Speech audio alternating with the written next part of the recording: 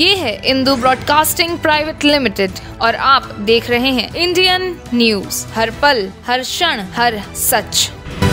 भिलाई नगर विधायक देवेंद्र यादव के भिलाई निवास में सोमवार को ईडी की रेड के बाद मंगलवार को भिलाई विधायक देवेंद्र यादव ने इंडियन न्यूज़ से खास बातचीत की और ईडी की कार्यवाही को लेकर अपना पक्ष रखा। आइए देखते हैं देवेंद्र यादव ने क्या कहा।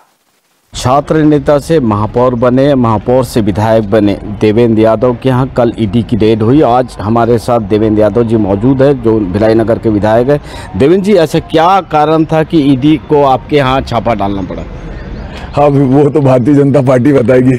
उनका टारगेट केवल और केवल, अभी हमारा महाधिवेशन खराब करना और हमारे कांग्रेस पार्टी की सरकार को वो कैसे रोकें, उसका है। तो उसी के लिए वो काम कर रहे हैं और क्या।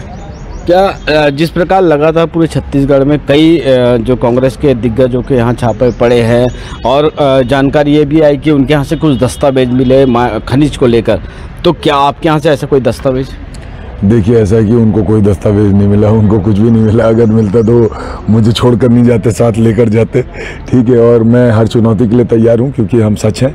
हमने किसी तरह का कोई गलत काम नहीं किया है। और चिंता करने की ज़रूरत है तो भारतीय जनता पार्टी को करने की ज़रूरत है।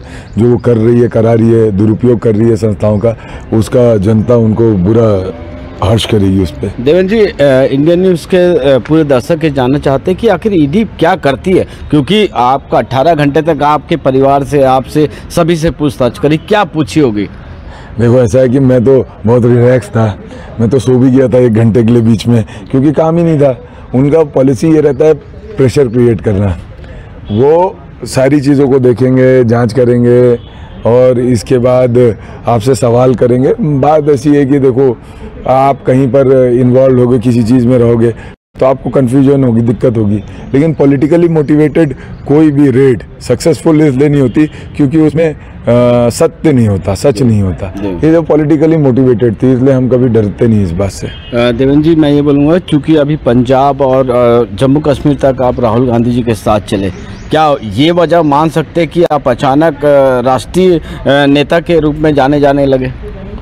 आ, देखो ये तो कांग्रेस के हर नेता के पीछे लगे हुए हैं। ठीक है मैं तो कांग्रेस का कार्यकर्ता हूँ मुझे जहाँ जहाँ मौका मिलता है मैं वहाँ काम करता हूँ भले यहाँ की बात हो या कहीं और की बात हो और ये काम मैं चालू रखूँगा मैं डरता नहीं है इनसे। और आपको मैं बताना चाहता हूँ कि ये जिस तरीके से कांग्रेस को हमारे नेता राहुल गांधी जी को हमारे नेता भूपेश बघेल जी को परेशान करने की कोशिश कर रहे हैं ये गलत तरीका है। और इससे उनको कोई फ़ायदा नहीं मिलेगा। जनता उनको बहुत बड़ा जवाब देगी। और देखिए ये भारतीय जनता पार्टी देखो विनाश काले विपरीत बुद्धि बोलते हैं ना कि आदमी जब अहंकार में इतना डूब जाता है कि संसार का हर विषय को वो चाहता है कि कंट्रोल कर ले। ये कंट्रोल करने का सिस्टम है। तो उनको समझना पड़ेगा ना पहले किसी ने कंट्रोल कर पाया है जनता को ना आज कोई कर पाएगा। ये ये क्या है ये गलत दिशा में जारी है। यादव जी एक सवाल है। चूँकि कल छत्तीसगढ़ में रेड पड़ी आप के यहाँ सबसे ज़्यादा कार्यकर्ता विरोध कर रहे थे रायपुर में भी विकास उपाध्याय ने विरोध किया। आ, लेकिन आ, दिल्ली में भी प्रेस कॉन्फ्रेंस हुई यहाँ पर भूपेश बघेल ने भी प्रेस कॉन्फ्रेंस करी। क्या मानते हैं कि छत्तीसगढ़ को महत्व मिल रहा है पूरे देश में? हाँ छत्तीसगढ़ को छत्तीसगढ़ के लोग इतने प्यारे हैं कि पूरे देश को वो सम्मान देते हैं और पूरा देश छत्तीसगढ़ के लोगों को सम्मान देता है। मुझे इस बात की खुशी है कि छत्तीसगढ़, जिसको नक्सल प्रदेश के नाम पे नैरेटिव सेट हो गया था भूपेश बघेल जी के आने के बाद हमारे जो कल्चर है, हमारा जो जो जीवन शैली है, अब उसको लेकर हम प्रचारित हो रहे हैं और लोग छत्तीसगढ़ के बहुत प्यारे हैं। छत्तीसगढ़ के लोग, मुझे लगता है भारत में एग्ज़ाम्पल हैं। एक छोटा सवाल कि कल रेड हुई है, क्या राहुल गांधी जी या मुख्यमंत्री भूपेश बघेल जी का आपका फ़ोन पर चर्चा हुआ? क्या उनकी समझाइश थी? मेरी किसी से कोई चर्चा नहीं हो पाई क्योंकि वो साढ़े सात बजे आया इसके बाद फ़ोन तो वही लेके चले गए। तो ऐसी कोई बात किसी से नहीं हुई लेकिन आ, मेरा मेरे लीडर से मैं बात करने की कोशिश करूँगा। अभी तो मैं आप लोगों से बात कर रहा हूँ इसके बाद मैं अपनी पार्टी में और सब जगह पर बात करूँगा। ये थे देवेंद्र यादव जी नगर जो भिलाई नगर के विधायक हैं। इन्होंने ईडी को लेकर कई सारी बातें कही और ये एकदम निश्चिंत है और ये स्वतंत्र है कि इनके यहाँ से अभी तक कुछ नहीं मिला और ईडी को जो जानकारी मिली थी, पूरी तरह गलत थी।